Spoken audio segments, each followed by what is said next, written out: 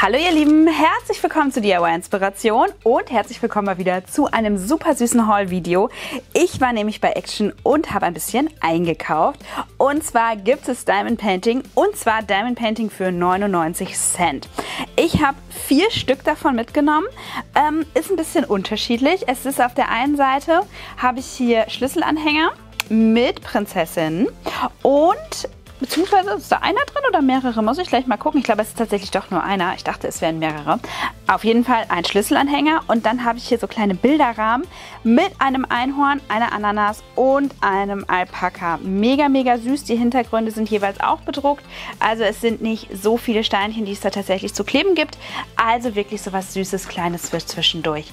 Finde ich richtig, richtig niedlich. Wird auf jeden Fall in diesem Video auch noch getestet. Aber ich mache es jetzt als erstes einmal auf. Und wir schauen uns das einmal zusammen an. Ich schneide hier einmal die Packung kurz auf. Ist zugeklebt oben. Und wir schauen rein, ob wir hier tatsächlich ein oder mehrere drin haben.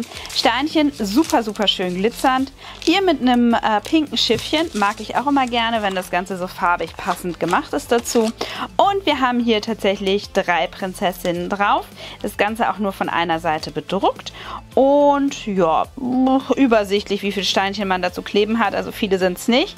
Dafür ganz schön viele Farben dabei, sechs Stück und sehr, sehr schön glitzernd auf jeden Fall. So, kommt jetzt erstmal wieder gut in die Packung zurück. Wir schauen einmal hier oben mit so einem Schlüsselring tatsächlich dran. Und das Schiffchen auch mit rein. So, Nummer 1. Und jetzt wird es tatsächlich spannend, wie diese kleinen äh, Bilderrahmen aussehen. Ich habe das hier hinten auch einmal mit so einem kleinen Klebestückchen drauf. Mal gucken, ob ich das so abbekomme. Ja, das sieht ganz gut aus. So. Lässt sich so öffnen. Und dann schauen wir einmal. Oh, okay, das lässt sich dann hier hinten so zuspannen. Und es ist tatsächlich so eine ganz kleine Leinwand, die dann eingespannt wird.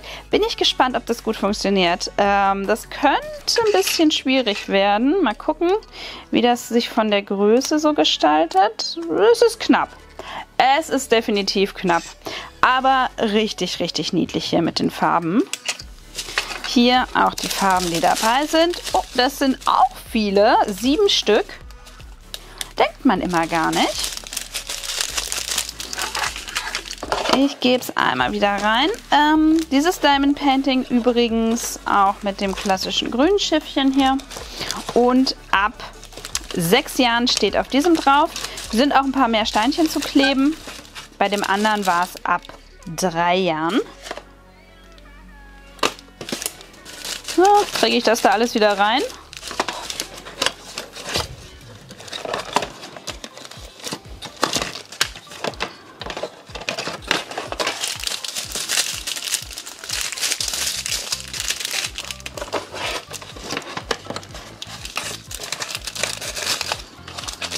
War auf jeden Fall gut kompakt eingepackt.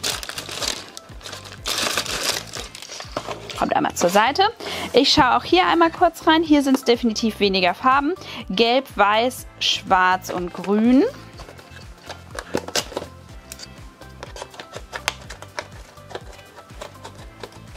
Hm. Ging tatsächlich besser ohne Schere. Haben wir hier dann einmal. Super süß. Ich glaube, das mache ich auch. Ich glaube, das werde ich euch hier im Video auch zeigen.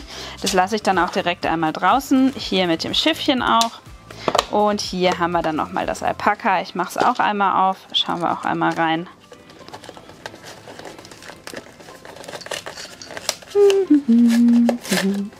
So, offen ist es. Und wir schauen da auch einmal. Hier habe ich die Farben sind sogar noch mehr. Das sind neun. Neun Farben. Also richtig, richtig viel dabei. Hätte ich jetzt auch gar nicht gedacht bei dem Alpaka. Es wirkt gar nicht so, als ob es so viele Farben hätte. Hier nehme ich es dann einmal raus. Oh, ist auch richtig süß. Süßes Alpaka. Und wieder rein damit.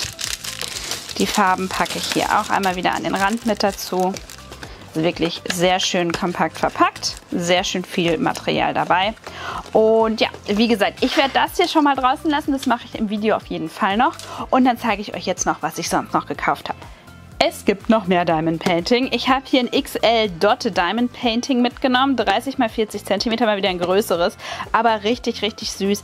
Mit den, ähm, mit dem Einhorn. Und ich sehe gerade Wheel Size XL Diamonds. Es ist tatsächlich mit größeren Steinen, als man es kennt. Hier hinten ist es einmal drauf gedruckt mit den äh, Farben. 19 Stück dabei. Ich gucke gerade mal. Hier oben geht es vielleicht einfacher zu öffnen. Dann gucken wir uns das doch mal an, wie das mit den Steinen tatsächlich aussieht. Weil da bin ich natürlich direkt gespannt. Das lässt sich natürlich auch viel schneller machen.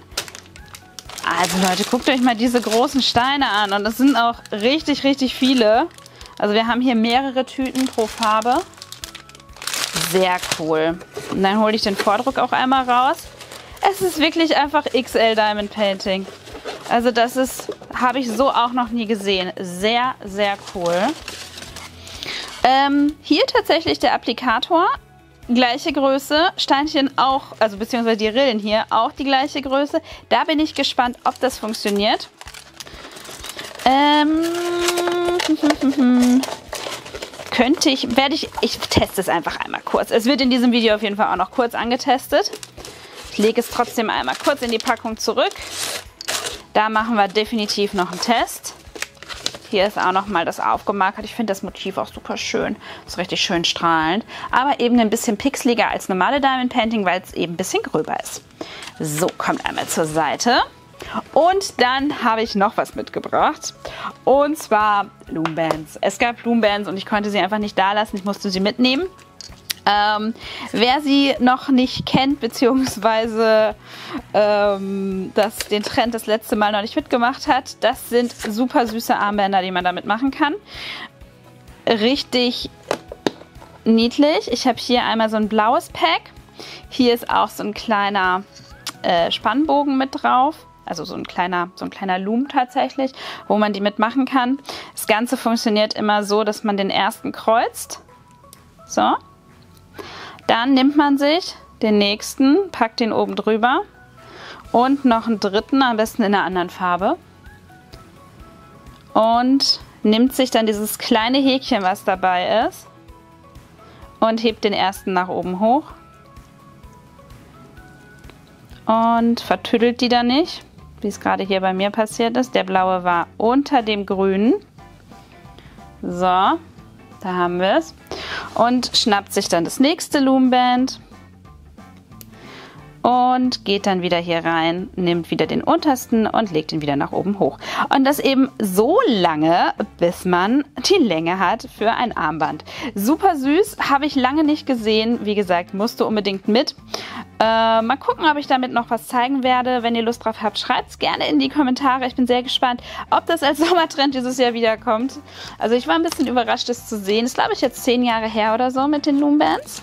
Kommt alles einmal wieder rein. Auch ein süßer kleiner Kasten. Die waren sonst auch durchaus viermal so groß. Hier einmal also in blau. Und dann haben wir das Ganze hier, deswegen habe ich auch beide mitgenommen, um alle Farben dann noch einmal zu haben. Haben wir das Ganze in gelb bis pink. Also das ist dann einmal so die gesamte Farbpalette dabei. Das Ganze dann immer abgesetzt mit weiß. So, das sind die Loombands. Die habe ich auch dabei. Also Loombands Vorrat ist aufgefüllt. Und ich würde sagen, ich teste jetzt als erstes, ich bin so gespannt darauf, ich teste jetzt dieses XL Diamond Painting, Leute. So, hier ist es. Hier ist das Material dazu. Und ich mache es ganz vorsichtig auf.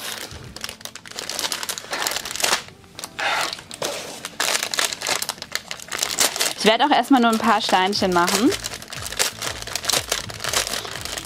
Ich möchte ja auch noch im Video... Was haben wir denn hier außen liegen? Wo können wir denn gut damit anfangen hier? Da.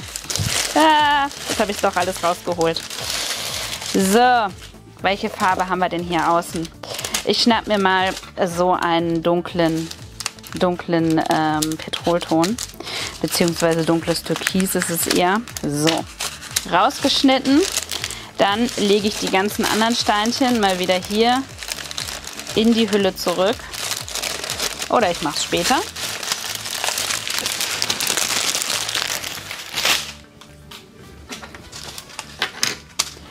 Und dann haben wir ja hier das ganz klassische Schiffchen dabei.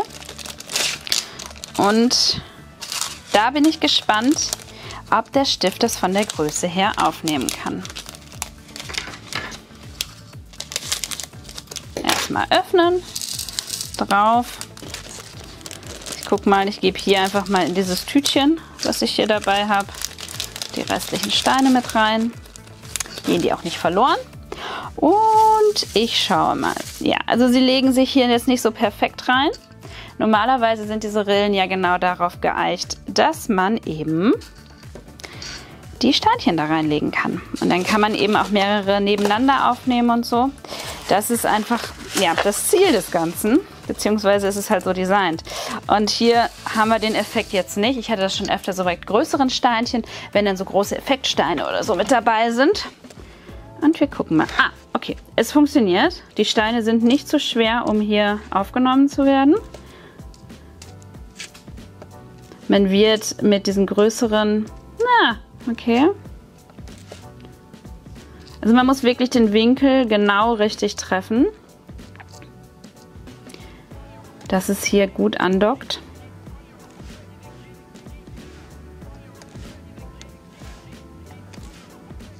Aber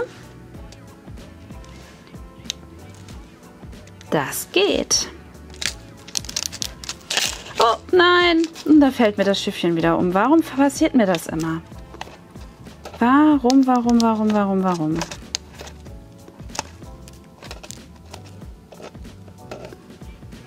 So, die liegen jetzt auf dem Tisch, dann nehme ich sie halt von da.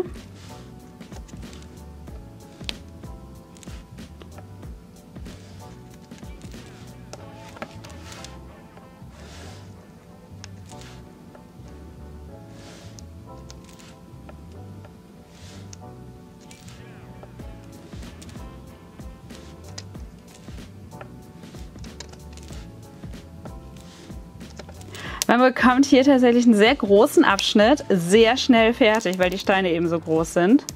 Ich finde auch, das Bild ist ganz gut darauf abgepasst. Das sieht auch schön aus, wenn es so pixelig ist.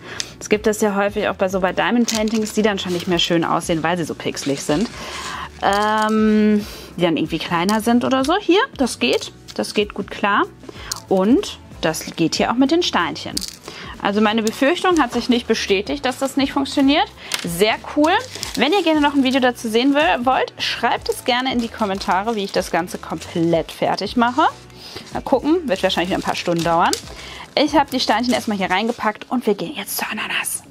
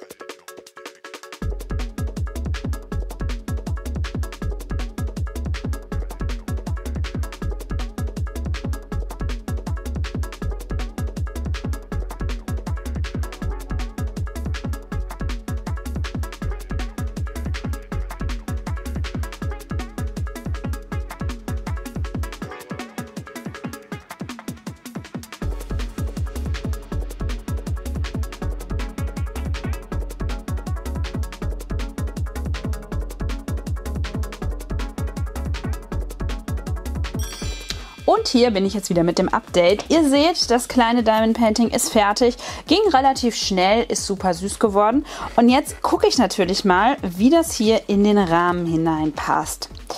So, ähm, die Leinwand ist wirklich sehr knapp zugeschnitten, aber es passt genau rein. Also es sollte gehen. Jetzt muss ich das natürlich hier schön reinlegen, passend in die Position. Und dann kommt hier die Platte drauf und wird eingeklemmt. So, und fertig. Und es hat tatsächlich auch gut geklappt. Also es steht hier nichts über oder man sieht hier nichts von dem Weiß noch durchscheinen. Sehr, sehr süß. Hier ist so eine kleine Öffnung für einen Nagel zum Aufhängen. Richtig, richtig niedlich.